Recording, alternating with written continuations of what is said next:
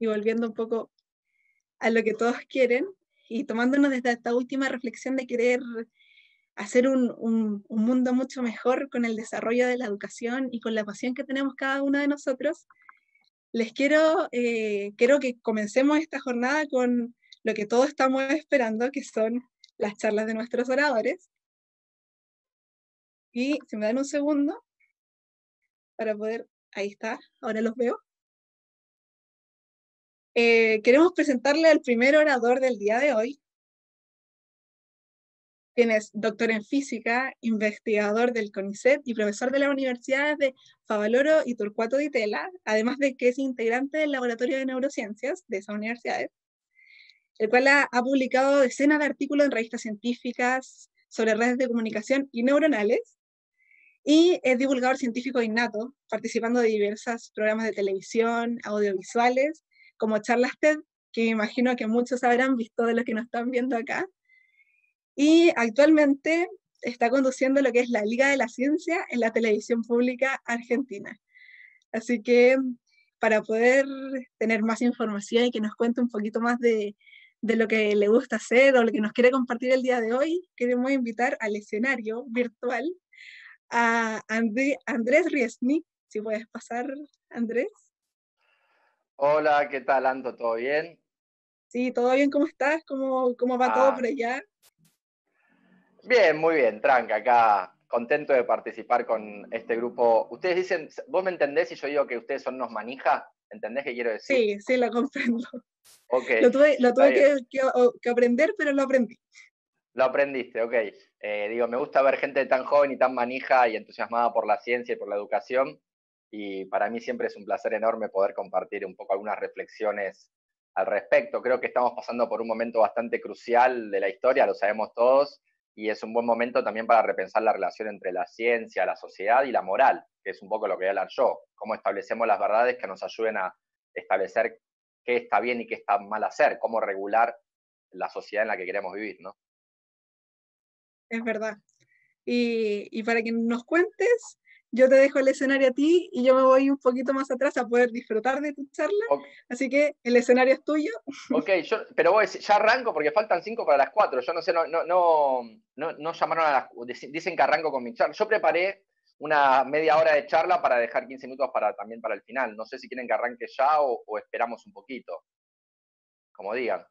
Yo creo que, que, sí, ya estamos, ya todos están demasiado expectantes, ya quieren que partas, ah, lo veo aquí en los comentarios, así que es tu bueno, Bueno, perfecto, bueno, bueno, entonces arranco con mi, con mi charla. Eh, yo quedé con Anto, yo no estoy leyendo lo que van poniendo en YouTube, acá lo tengo acá al costado a YouTube, pero no me cuesta prestar atención y concentrarme también un poco en lo que estoy diciendo. Entonces voy a ver, voy a estar prestando atención pero cualquier cosa, vos, Santo, me interrumpís y me, decís, hay tal pregunta que te, que te parezca relevante o lo que sea, ¿sí?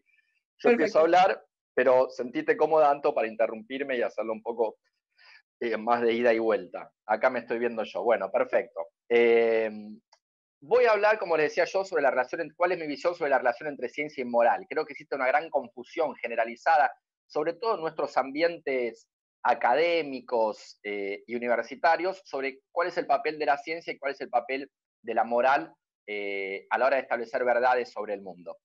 Eh, y voy a empezar sobre todo tratando de responder un poco a la pregunta que hicieron de qué es la educación. Y para responder esa pregunta sobre qué es la educación para mí, me voy a remontar a la década del 80 para contarles los experimentos que dieron nacimiento a, lo que hoy en día se denomina neurociencia cognitiva.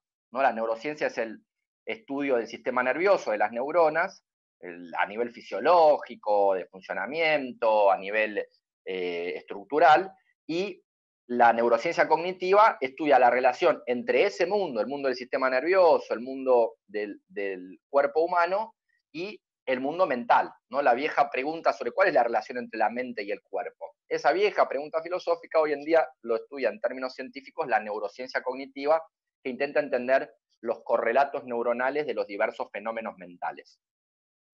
Eh, y esta rama de la ciencia nació en la década del 80 eh, con un investigador norteamericano llamado Michael Gazzaniga, que hizo una serie de experimentos que les confieso que para mí son los experimentos más interesantes de la historia de la neurociencia prácticamente. Son experimentos fascinantes y que se hicieron con así llamados pacientes split brain, pacientes que tenían el cerebro partido al medio, literalmente. Nuestro cerebro tiene dos hemisferios, esos dos hemisferios están interconectados por un conjunto de neuronas llamadas cuerpo calloso, y a estas personas se les cortaba mediante una intervención quirúrgica, literalmente con un serrucho, el cuerpo calloso, de forma que sus dos hemisferios quedaban sin poder conectarse. Esto se hacía por cuestiones médicas, porque eran personas las que recibían este tipo de intervención que tenían epilepsias, epilepsias muy graves durante, muchas durante, durante todos los días y que no tenían aurea, o sea, ellas no podían anticipar que se venía una epilepsia. Porque ¿cuál es el gran peligro de la epilepsia? El cerebro vuelve después a su funcionamiento normal, pero el peligro de un ataque de epilepsia que no te ves venir es que te puedes caer, te desvaneces y te puedes golpear muy fuertemente. Entonces es un peligro muy grande y hoy en día hay más soluciones farmacológicas para eso, pero antiguamente una solución en la década del 80 que se hizo con decenas de personas era cortar el cerebro al medio. ¿Por qué? Porque la epilepsia comienza con un foco en una parte del cerebro. Entonces, si, y después se empieza a propagar. Si vos tenés un descontrol en una parte del cerebro que te descontrola tu cuerpo, pero no, esa, ese descontrol no se propaga al otro hemisferio cerebral, entonces, aunque una mitad de tu cuerpo esté descontrolada, la otra mitad está firme y podés pararte y no lastimarte, digamos, te mantenés en pie. Entonces, de esa forma se lograba eh, dar una vida un poco mejor a las personas que tienen epilepsia. Muy bien. ¿Qué pasa? A una persona, por increíble que parezca, a estas personas que les cortaban el cerebro al medio, el cuerpo calloso, les hacían todo tipo de test cognitivo y estaban perfectos. Memoria, atención, concentración, capacidad de razonamiento abstracto, fluencia verbal, capacidades matemáticas, todo estaba bien, no parecía tener ninguna consecuencia el haber cortado eh, la comunicación entre los dos hemisferios cerebrales. Sin embargo, lo que hizo Gazzaniga con unos experimentos muy ingeniosos fue lo siguiente. Él se consiguió un pequeño financiamiento de la NSF, la National Science Foundation, eh, y logró montar una pequeña camioneta con muchos dispositivos y con esa camioneta fue recorriendo todo Estados Unidos buscando a estos pacientes. ¿Y qué hacía con estos pacientes que tenían el cerebro partido al medio? Les mostraba, primero, a la mitad de su campo visual derecho, o sea, al cerebro izquierdo, al hemisferio izquierdo, ustedes saben, no sé si saben, pero el hemisferio izquierdo controla toda la parte derecha del cuerpo y recibe información de la parte derecha del cuerpo, y el hemisferio derecho controla la parte izquierda del cuerpo y recibe información sensorial desde la parte izquierda del cuerpo. Está así, es, están cruzados. Entonces, ¿qué pasaba? Gazzaniga le mostraba a estos pacientes con el cerebro partido, primero, al campo visual derecho, o sea, al cerebro izquierdo, les mostraba la palabra, por ejemplo, les doy un ejemplo que yo vi, pero siempre pasaba más o menos lo mismo les mostraba, por ejemplo, la palabra rojo y le decían, ¿qué ves? Y el paciente decía, veo la palabra rojo. Ok, perfecto. Y ahora le mostraban al campo visual izquierdo, o sea, al lado derecho del cerebro, la palabra banana o la imagen de una banana, no importa, lo que sea, y le decían, ¿qué ves? Y la persona decía, no veo nada. Relataban no ver nada, no poder leer nada, no ver nada. Entonces, Gazanía decía, bueno, ok, perfecto, pero entonces ahora deja, le sacaban el dispositivo decían, pero dibuja lo que crees que te podemos haber mostrado. Recuerden que él dijo que vio la palabra rojo, pero no vio la palabra banana en el lado derecho, en el campo visual derecho. Y él, cuando Basanía le dice, bueno, está bien, no viste nada, pero dibuja lo que jugátela, pensá, ¿qué pensás que te mostramos? Y él dice, no, no sé qué vieron, no tengo idea. Y él dice, pero jugátela. Entonces, el tipo agarra y entre los lápices de colores que tiene, agarra un lápiz rojo. Cosa que no sorprende porque dijo que vio el color rojo. Pero ahora dibuja, ¿y qué dibuja? una banana roja. O sea, él dijo que no vio la banana, pero sin embargo, cuando va a dibujar, dibuja una banana roja. Algo realmente sorprendente. Tan sorprendente que Gazaniga cuenta en su autobiografía que publicó hace unos años que tardaron 10 años más en hacer la pregunta realmente más interesante y relevante. ¿Por qué tardaron tanto? Porque en el mundo académico, universitario y científico hay una frase que es publicar o morir, publish or perish. Entonces, porque en la vida académica, medio la moneda de cambio son los papers. Todos queremos publicar con los que estamos en ciencia en buenas revistas científicas. El hecho de que la persona decía no haber visto una banana, pero dibujaba una banana, era lo suficientemente interesante como, interesante como para salir a publicarlo. Pero ¿qué se olvidaba Gazaniga? Se olvidaba de hacer la siguiente pregunta, porque ¿qué preguntarían ustedes frente a semejante situación? La pregunta, y que se transforma en la pregunta más interesante es preguntarle a la persona, che, ¿y por qué dibujaste una banana? Y ahí llega lo más interesante de todo, porque no solo la persona dibuja un estímulo que dice no haber visto, sino que después, cuando le preguntan por qué lo dibujó, la persona dice, y en este caso dice lo siguiente, dijo, no, él podría decir perfectamente, no, mirá, no sé por qué dibujé una banana, a mí me cortaron el cerebro al medio, me estás haciendo unos estímulos, raros, no tengo idea por qué dibujé una banana, decime vos por qué dibujé una banana. Pero no dice eso. ¿Qué le dice esta persona gazaniga? Le dice, no, lo que pasa es que hoy a la mañana pasé por una frutería, entonces pensé en dibujar una fruta, que es fácil de dibujar, y entonces, ¿por qué no dibujar una banana, que es fácil de dibujar? Yo me acuerdo que pensaba, una fruta fácil de dibujar y roja, eso es una manzana de acá a la quiaca, pero él dibujó una banana. Bueno, no importa. La cuestión, y esto es lo fundamental, es que todos los pacientes, después de dibujar un estímulo que decían no haber visto, cuando se le preguntaban por qué había dibujado lo que dibujó, justificaban, se autoengañaban, explicaban la razón última y próxima de por qué habían dibujado lo que habían dibujado. En este caso él dijo, me acordé de una frutería, pero podría haber dicho, por ejemplo, no, es que me estoy por ir de vacaciones a un país tropical donde hay muchas bananas y entonces me acordé de las bananas. No importa, pero siempre justificaban de alguna forma una decisión que tomaron por razones que son en realidad inconscientes y que ellos mismos desconocen. Por eso este fenómeno, Gazaniga llamó el autoengaño cognitivo. Y para mí es uno de los fenómenos más interesantes de la neurociencia moderna. Hay un autor que me gusta mucho, se llama Timothy Perper, tiene un libro llamado El cielo de la mente, que dice que nuestro cerebro es como una monarquía constitucional. ¿Vieron como esos países europeos que hay un rey pero hay un parlamento? ¿Por qué dice eso? Porque dice, nuestro cerebro está constituido de muchos módulos que tienen intereses contradictorios, a veces deseamos una cosa, sabemos racionalmente que necesitamos hacer otras, en fin, somos hechos de muchas personas, digámoslo así, pero se aparece frente a nosotros una explicación que es como si apareciera un rey, cuando aparece un rey en las monarquías constitucionales, y dijera, no, no, nosotros sabemos hacia dónde vamos, vamos hacia allá. Y nos da una explicación a nosotros mismos que nos da una impresión unificada de lo que somos. Por eso Gazanía dice que nuestro cerebro, teniendo en cuenta estos resultados de sus experimentos, tiene del lado izquierdo una serie de circuitos neuronales al que él denominó el intérprete, que se encargan de justificar hacia nosotros mismos por qué hacemos las cosas que hacemos. Casi como si fuéramos espectadores en tercera persona del comportamiento de alguien, pero que necesita justificar por qué lleva adelante ese comportamiento. Entonces Gazanía dijo, existe el intérprete, que es el circuito neuronal encargado de generar esa vocecita interna que se encarga de decirnos a nosotros mismos por qué hacemos lo que hacemos, por qué hicimos lo que hicimos, que según Timothy Perper es algo así como un rey en nuestro cerebro, que se encarga de explicar hacia dónde va la nación, que es el, nuestro cerebro. Y entonces apareció en ese momento una pregunta que no tuvo mucha respuesta hasta unos años después, porque la pregunta fue la siguiente, ok, existe el autoengaño cognitivo, es verdad, es evidente que estas personas están inventando una razón que justifica la decisión que tomaron por razones inconscientes que desconocen. Ahora bien, ¿será esto una característica más general de la mente humana o es apenas una característica anómala de un cerebro anómalo? porque al final de cuentas era un cerebro partido al medio, no es un cerebro normal. Capaz que el autoengaño cognitivo no es una característica de todos nosotros. En el año 2005 apareció una solución a esta pregunta sobre cómo investigar el autoengaño cognitivo en personas que no tienen ningún tipo de lesión cerebral. Apareció un paradigma experimental que se llama ceguera a la elección.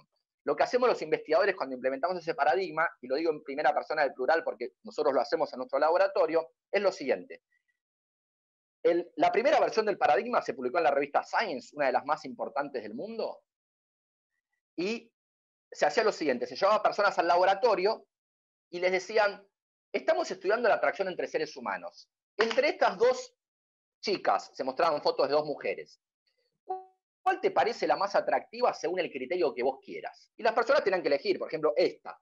Y entonces en ese momento el investigador, que en realidad era un mago, hacía un pase que estaba disfrazado, pero hacía un pase de magia muy sutil, una prestidigitación, a través de la cual, cuando le alcanzaba la foto a la persona para que explique y justifique por qué eligió lo que eligió, en realidad le cambiaba la foto. Le daba la foto de la chica que en realidad no habían elegido.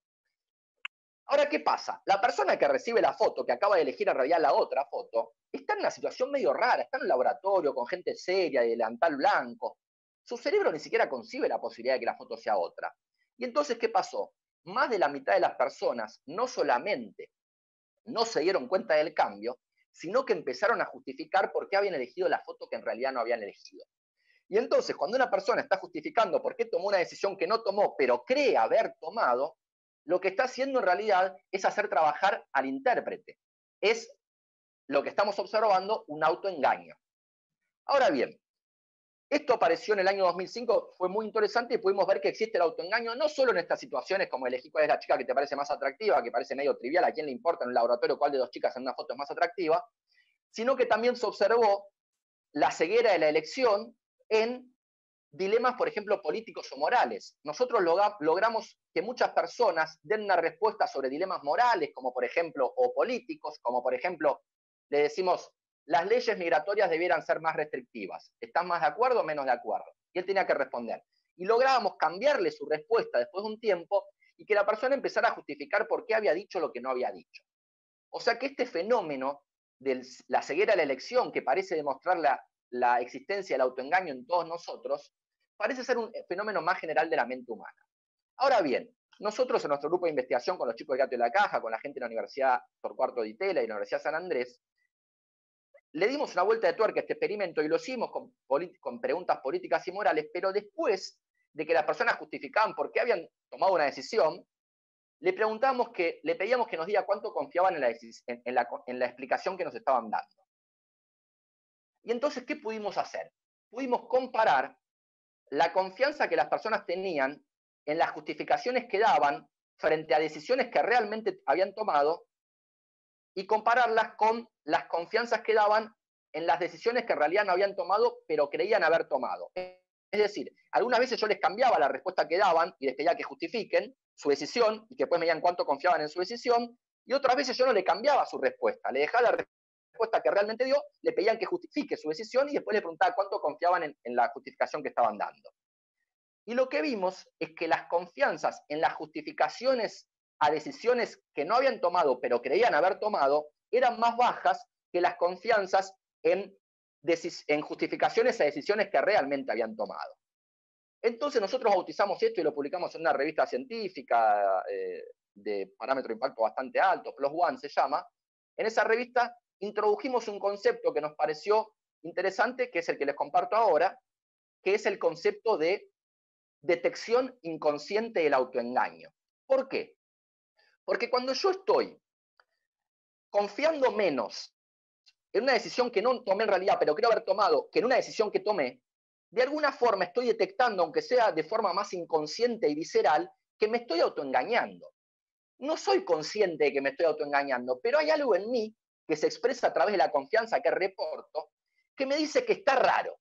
Lo siento como tengo menos confianza en lo que estoy diciendo. Y ese fenómeno al hecho de que confiamos menos en justificaciones que damos a decisiones que no tomamos, a ese fenómeno nosotros llamamos, no, perdón, a ese fenómeno no. Nosotros lo que decimos es lo siguiente. Así como Gazzaniga propone la existencia de una serie de circuitos cerebrales en el hemisferio eh, izquierdo del cerebro, que se encarga de interpretar nuestras acciones y justificarlas hacia nosotros mismos, que genera esa vocecita interior que nos explica por qué tomamos las decisiones que tomamos, también existe, decimos nosotros, una serie de circuitos neuronales que actúan de forma inconsciente y que están todo el tiempo monitoreando y controlando lo que dice el intérprete para ver si comete algún error. Nosotros llamamos esos circuitos neuronales el revisor. Son los circuitos neuronales que todos tenemos dentro y que de forma inconsciente están tratando de detectar errores, errores en lo que nosotros mismos decimos. Es el fenómeno, a mí me gusta explicarlo de la siguiente forma, es el fenómeno que yo llamo, acabo de decir una tontería. ¿Por qué? Viste cuando estás hablando, hablas, hablas, hablas y de repente decís algo y al microsegundo te das cuenta que dijiste una tontería? Bueno, ¿cómo puede ser posible? Si lo acaba de decir vos, ¿quién es que se dio cuenta que dijiste una tontería? ¿Cómo puede ser? ¿Somos todos esquizofrénicos? Bueno, un poquito sí, un poquito todos tenemos dentro de nosotros diferentes personas. Y a medida que estamos hablando, nuestro cerebro está todo el tiempo monitoreando lo que decimos para que si detecta algún error, eso salte a la conciencia y nos avise y nos demos cuenta, uh, acabo de decir una tontería. Porque nos comunicamos a los otros no solo para decir lo que pensamos, sino para saber lo que pensamos. Porque al final de cuentas, ¿cómo puedo saber lo que pienso hasta que no lo digo? Y entonces acaba mi... Y yo creo que eso, perdón, yo creo que eso, esa capacidad de analizar lo que nosotros mismos decimos, la, la capacidad de detectar errores en que nosotros mismos decimos es en última instancia el pensamiento crítico. Y acá voy a responder la pregunta de qué es para mí la educación. ¿Por qué? Por, por lo siguiente. Nosotros sabemos por los experimentos de Gazaniga y de Ceguera la elección que el autoengaño es algo constitutivo de nuestro cerebro. Todo el tiempo estamos autoengañándonos. Pero también sabemos que tenemos capaz de darnos cuenta del autoengaño que estamos llevando adelante gracias a los experimentos en el que demostramos la existencia del revisor. Entonces, ¿qué es el pensamiento crítico? El pensamiento crítico para mí es desarrollar esa capacidad de mirar tus propias ideas desde otra perspectiva para detectar errores en ellas o no. Porque las ideas se te aparecen sí que vos sepas por qué se te aparecen en el espacio de tu conciencia. Las ideas se aparecen en el espacio de la conciencia como se aparecen las imágenes en el espacio visual. Yo ahora miro para, para adelante y veo que hay un enchufe. Yo no elijo que aparezca ese enchufe en mi espacio visual, pero aparece. Si quiero saber si es un enchufe, lo miro desde diferentes ángulos y digo, ah, sí, es un enchufe, lo miro desde diferentes perspectivas y confirmo que es un enchufe. Con las ideas pasa algo análogo. Las ideas se me aparecen en el espacio de mi conciencia sin que yo sepa por qué se me aparecen. Y mi tarea como pensador, como pensadora crítica, es mirar esas ideas desde otras perspectivas para ver si sobreviven o no a su escrutinio.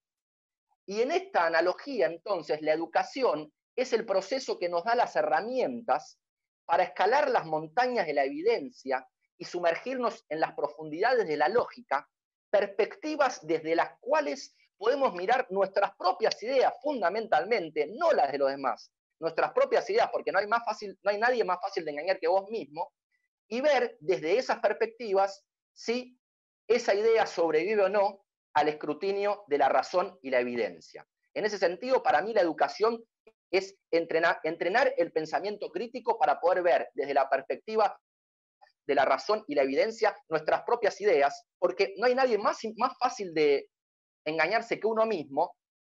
Y en ese sentido, el pensamiento crítico es fundamental aplicarlo sobre, como ya dije, eh, nosotros mismos. Iba a decir algo más y me estoy olvidando, creo que no. Bien. Bueno, entonces, en general, nosotros tenemos ideas sobre el mundo que nos aparecen, nos aparecen por razones que desconocemos y nuestra tarea como pensador, como pensadora crítica, ah, ya sé lo que iba a decir que me estaba olvidando. No, que esto es muy importante porque cuando se nos aparecen las ideas, es común que nos enamoremos de ella. A todos nos pasa que nos enamoramos de las ideas que se nos ocurren. Y entonces es fundamental poder tener pensamiento crítico para darnos cuenta que nos hemos equivocado y creo que no hay nada más en el mundo que una persona cambiando de opinión en base a la evidencia y la razón. Ahora bien, y eso nos permite la educación. Ahora bien, muchas veces estamos inmersos en, en, una sociedad, en una cultura, en una época, donde tenemos un montón de creencias que en realidad no razonamos demasiado, pero que hemos incorporado por la cultura en la que estamos. En las, y, voy a irme acercando ahora hacia el punto de la charla que tiene que ver sobre la relación entre la moral y la ciencia, porque creo que está, ¿qué creo que está pasando? Que existe cierta idea que está muy presente sobre todo en los ambientes a los que ustedes que son jóvenes aspiran a habitar, que son los jóvenes apasionados por la ciencia, ¿no? Pero que son los ambientes académicos, universitarios, de las universidades, de los laboratorios, de los ambientes de investigación, es un ambiente en el que yo viví toda mi vida, yo soy hijo de dos intelectuales, toda mi vida en ese ambiente, y creo yo, ya a los 43 años, que existen ciertos temas que son un poco tabú en estos ambientes, por razones históricas y culturales que otro día podremos discutir, pero que hoy en día son de fundamental discusión y para eso tenemos que poner en juego el pensamiento crítico. Y, por eso hice esta larga, introducción, esta larga introducción, porque voy a introducir un tema que a veces nos causa incomodidad, nos parece difícil de charlar, por lo menos para mi generación, espero que para ustedes sea un poco menos, pero son temas que tienen que ver con la en qué medida, es un ejemplo nada más, pero hay muchos, pero este en particular es un tema urgente que tenemos que charlar, que es en qué medida la biología y los genes influyen en nuestras personalidades, en nuestras dificultades, en nuestras facilidades, en nuestras susceptibilidades a enfermedades psiquiátricas, por ejemplo, en mi generación es un tema bastante tabú. Históricamente, durante todo el siglo XX, la psicología mainstream, digamos, tanto el psicoanálisis europeo como el conductismo norteamericano, las corrientes en psicología más eh, importantes del siglo XX, negaban cualquier influencia de los genes, inclusive, por ejemplo, en los trastornos psiquiátricos. Por ejemplo, una de las teorías más persistentes respecto para explicar la esquizofrenia era la de que la de la madre esquizofrenizante. Era culpa de la madre. O una teoría para explicar el autismo muy en boga, hasta los días de hoy se enseña en la Universidad de Buenos Aires, es la teoría lacaniana de que el autismo es provocado por un deseo inconsciente de aborto de la madre. Son teorías delirantes para las cuales no tenemos una sola gota de evidencia, pero teorías que empezaron a aparecer como fruto en buena medida de negar que estas susceptibilidades a enfermedades psiquiátricas como la esquizofrenia o el autismo, o trastornos diría, diría más que enfermedades, tienen un fuerte componente genético. Hoy sabemos que las diferencias entre nosotros en relación al autismo y la esquizofrenia son explicadas en un 70-80% por las diferencias en nuestros genes. O sea, hay una influencia de la genética en nuestra eh, susceptibilidad a trastornos psiquiátricos, pero también lo hay, y hoy lo sabemos más allá de toda duda razonable, en nuestras personalidades, en nuestros deseos, en nuestras facilidades, en nuestras dificultades. Y esto ha sido también un tema tabú durante muchos años que es necesario charlar, porque está avanzando muchísimo la genética, es la gran revolución del momento. Ha decaído exponencialmente el precio para la lectura del ADN y eso hace que exista una avalancha de estudios que va a seguir acumulándose en los próximos años, demostrando una correlación entre diferentes genes y diferentes rasgos.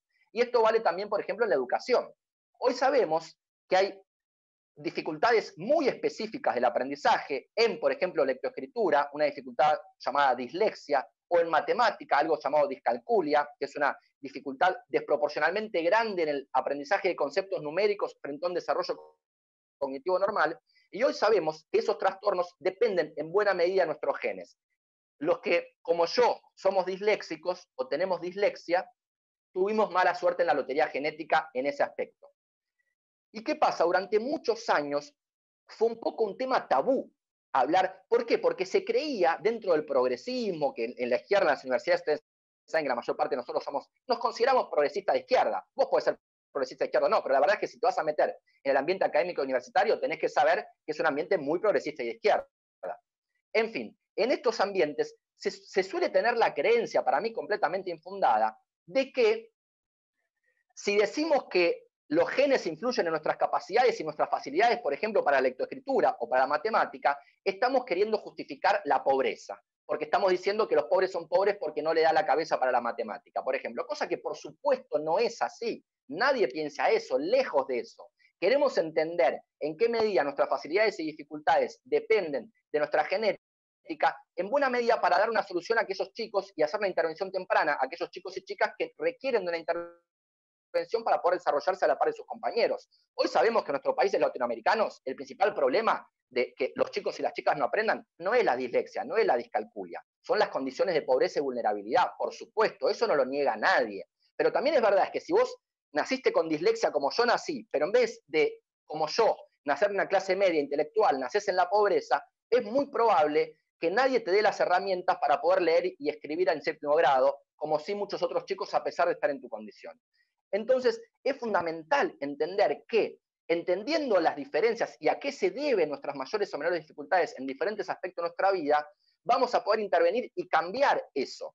En ese sentido es un buen, muy buen ejemplo la miopía. La miopía es algo genético, pero con una operación o usando anteojos se soluciona y una persona que nació con miopía, mm, porque tuvo mala suerte en la lotería genética, puede ver a la par igual de bien que sus compañeros. Análogamente, cuando alguien tiene dificultades en algo cuyo desarrollo es su deseo, lo que tenemos que tratar de hacer es, desarrollar anteojos cognitivos que le permita desarrollarse a la par de todos sus compañeros. Pero lo primero que hay que hacer es asumir que eso es así, que hay una dificultad en buena medida mediada por una diferencia genética entre las personas. Ahora bien, y hablo 10 minutos más y si quieren después ya vamos a, una charla, una conversación, que me digan su opinión. Eh, eh, ah, porque es por YouTube, lástima, me gustaría escuchar sus voces, pero bueno, si no pueden en el chat y, podemos ir charlando por ahí, Anto me va diciendo lo que dice. Bueno, entonces, les decía, lamentablemente hay un avance. ¿Cuál es la situación que yo percibo hoy, creo yo? Y me gusta mucho charlarlo con gente joven porque creo que son lo que lo van a, quienes lo van a cambiar. Hay un avance gigantesco en la neurociencia y en la genética, y sin embargo, en los ambientes progresistas hay una dificultad muy grande en avanzar en estas investigaciones tan importantes para darle una vida mejor a los, a los que más lo necesitan, y eso genera mucho sufrimiento innecesario porque atrasa el avance de las investigaciones. ¿Por qué creo yo que ocurre esto en buena medida en el progresismo, digamos, en, los ambientes universitarios? Tiene que ver con razones históricas y podríamos discutir también con con, lo que ocurrió en la Rusia estalinista, con lo que ocurrió con el nazismo, con la eugenesia.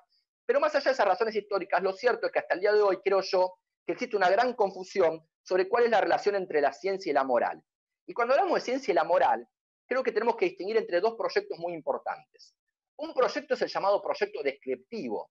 El proyecto en el cual lo que intentamos hacer es describir la realidad tal cual como es, de la forma lo más objetiva y desapasionadamente posible. Inclusive describir aquellas cosas que hacen sufrir o generan bienestar en los seres sintientes, en los humanos y en los animales no humanos.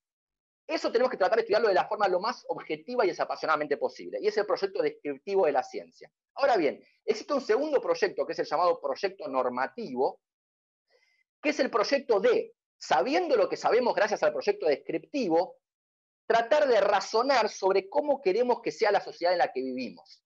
Y eso, creo yo, es también una potestad del pensamiento crítico, del pensamiento científico. Tenemos que pensar mediante razonamientos y evidencias cómo queremos regir la sociedad en la que vivimos. Y eso es la moral. Porque para mí yo defino ciencia y vale la pena tal vez hacer, tendría que haber hecho esto antes, cuando hablo de la relación entre ciencia y moral. Para mí la ciencia es establecer verdades sobre el mundo mediante razonamientos y evidencias. Es una concepción amplia de la ciencia. En ese sentido, las ciencias sociales o las ciencias humanas son ciencia, en la medida en que se basan en razonamientos y evidencias para establecer sus verdades. Y la moral tiene que ver con los estudios sobre cómo tenemos que comportarnos entre nosotros, qué vamos a, reglas vamos a establecer para nuestro comportamiento. Creo que una, una de las razones por las cuales existe tanta eh, oposición al desarrollo de las ciudades de la neurociencia, inclusive la genética en nuestros ambientes, tiene que ver con la confusión entre, el proyecto normativo y el descriptivo. Muchas personas, cuando yo describo la realidad y digo que muchos chicos tienen dificultad en matemática por razones no solo, pero también que tienen que ver con su biología y su genética, muchas personas piensan que estoy diciendo que está bien que sea así, piensan que estoy hablando del proyecto normativo. Y no estoy diciendo eso. Estoy simplemente describiendo la realidad tal cual y como es para poder cambiarla, porque el proyecto normativo es potestad de la ciencia también, y cuando voy a tratar de entender qué es lo razonable a la hora de establecer las normas que nos van a regir, creo que lo más razonable de todo, es, de todo es el principio de igualdad. El principio de que a pesar de que somos diferentes, nuestros intereses deben ser considerados por igual. Y si acepto ese principio al que llego gracias a los razonamientos, entiendo que si alguien tiene una dificultad en algo que desea desarrollarse, tengo que darle las herramientas para transformar eso y que esa dificultad que tiene desaparezca. Entonces creo que es fundamental entender esta diferencia, esta diferencia entre cuando estamos tratando de escribir la realidad y cuando estamos diciendo qué es lo que está bien y lo que está mal. Creo que en ese sentido no hay que tener miedo a describir la realidad tal como es, sea como sea, porque la realidad es como es y no como queremos que sea. Nos puede agradar, nos puede caer bien, nos puede caer mal, pero la verdad es que es como es. Y en base a entender cómo es la realidad, poder transformarla de acuerdo a cómo queremos que transformarla. Y ese de acuerdo a cómo queremos transformarla, creo que es un debate que tenemos que dar también en términos de razonamientos y evidencias, es decir, en términos científicos. Creo yo que, lamentablemente históricamente, por razones que como les dije podríamos discutir, muchas personas piensan que el proyecto normativo, el establecer las normas morales que nos van a convivir, no es patrimonio de la ciencia, es patrimonio de las, de las religiones o del pensamiento mágico. Yo pienso que no, pienso que las religiones son para practicarlas en la privacidad y no deben eh, interferir esas creencias en las políticas públicas que van a determinar las leyes que rigen nuestro comportamiento. Esas leyes que rigen nuestro comportamiento, las leyes que tratan de codificar la moral, deben ser establecidas mediante razonamientos y evidencias, es decir, mediante el método eh, científico. Ahora bien, yo creo que esto está cambiando. Creo que estamos, y, tiene que ver con el, con el ascenso del feminismo. Y cierro con esto y después podemos salir a la charla. En este sentido, en este, teniendo en cuenta todo lo que acabo de decir, es que podemos decir que, podemos ver a la ciencia como moral. Por eso el título de mi charla es La ciencia como moral y la moral como ciencia. La ciencia como moral, porque es a través de los razonamientos y evidencias, es decir, mediante la ciencia, creo yo, que debemos establecer las verdades que van a regir nuestro comportamiento, las verdades del proyecto normativo. Entonces la ciencia, entre todas las formas que tenemos de establecer nuestros preceptos morales, que pueden ser religiones, pueden ser tradiciones, puede ser por autoridad, creo yo la forma ética y moralmente correcta de establecer las leyes es a través de razonamientos y evidencias. Las religiones, las tradiciones, la autoridad están muy bien para otras cosas, para la privacidad, para lo que quieras, pero a la hora de establecer nuestras leyes necesitamos hacerlo mediante razonamientos y evidencias, es decir, mediante ciencia, y en ese sentido la elección, esa elección es una elección moral. Elegir a la ciencia es una elección moral, la ciencia como moral. Porque al final de cuentas, si alguien, como dice Sam Harris, si alguien no acepta el valor de la evidencia para establecer las verdades, si alguien no acepta el valor de la evidencia, ¿qué evidencia puedo darle para que lo acepte? Si alguien no acepta el valor de la lógica, ¿qué razonamiento puedo hacer para que lo acepte? No se puede. Establecer que debemos establecer las verdades mediante razonamientos y evidencias es una premisa moral y en ese sentido la ciencia es un valor moral. Y en otro sentido, la moral es una ciencia, porque si aceptamos esto, entonces estamos diciendo que la moral, el, el establecimiento de las reglas sobre cómo comportarnos entre nosotros, debe ser hecha, debe ser desarrollada mediante razonamientos y evidencias sobre el mundo, razonamientos y evidencias que nos pueden ayudar a entender en qué circunstancias sufrimos o en qué circunstancias florecemos y tenemos bienestar. Entonces, en ese sentido, la moral es una ciencia. Es la ciencia que estudia las condiciones de sufrimiento y bienestar de los seres sintientes, de los animales humanos y de los animales no humanos. Y termino con esta reflexión. Creo que esta visión de que elegir describir el mundo mediante razonamiento científico es una lección moral y el, y el hecho de que elegir estudiar a la moral mediante razonamientos y evidencias debe ser aceptado, creo que esto es algo que está hoy en día, tal vez no de forma consciente, pero inconscientemente permeando mucho más hondo en la juventud de hoy, y eso es un poco lo que quiero escuchar a ustedes, si están de acuerdo conmigo o no. Yo lo percibí muy claramente con el ascenso, creo yo, del feminismo, porque algo que pasó y esto a mí me intriga un poco, es que en los últimos años, un poco después del ascenso del feminismo, empezó a resurgir también el veganismo. Yo soy vegetariano hace 20 años porque eh, me, da... Me da... Ay, esperen porque acá me apareció un cartel en el Zoom. Bueno, se encargará, Anto, no sé si tiene que cargar. En fin. Bueno, les decía, creo yo, ¿por qué? Bueno, voy a ver... Nada, admito. En fin. Bueno, en fin, yo les decía, ¿qué pasó? El feminismo es un movimiento que en los últimos años socavó tan fuertemente las bases morales de nuestra organización social, o sea, se preguntó tan fuertemente cuáles son las normas que tenemos que establecer para organizarnos socialmente, cuál es la moral correcta, que nos obligó a ir mucho más profundo y a preguntarnos también cuál es la moral correcta, por ejemplo, en relación a los animales. Cosa que para mi generación era, a ver, yo me hice vegetariano hace 20 años en el país del asado. Eh, eso ni, uno ni se lo preguntaba. Y creo que es muy saludable que nos lo preguntemos, está buenísimo. Y creo que tiene que ver con cómo el, ascenso del feminismo socavó las bases morales de la sociedad y nos hizo pensar nuevamente eso. Termino con una anécdota. Hace, yo me hice vegetariano hace 20 años. Acá nadie era vegetariano, no existía, era, eh, era muy poco común. Y una vez fui a, tomarme a comer, me fui con mis amigos, que son recarnívoros, después de jugar un partido de fútbol, me fui a la costanera y en los carritos de la costanera vendían unas bondiolas eh, y venía una bondiola completa, que salvo la bondiola, el resto me parecía riquísimo. Entonces le digo a la señora, ¿me puedes hacer un vegetariano? Me dice, ¿qué cosa? Nunca había escuchado la palabra vegetariano.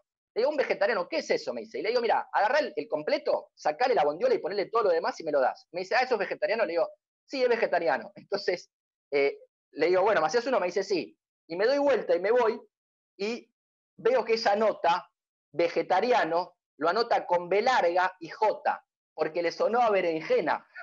bueno, en fin, siempre me causa esa anécdota. Em, para que se den una idea de, que nadie ni sabía lo que era el vegetarianismo.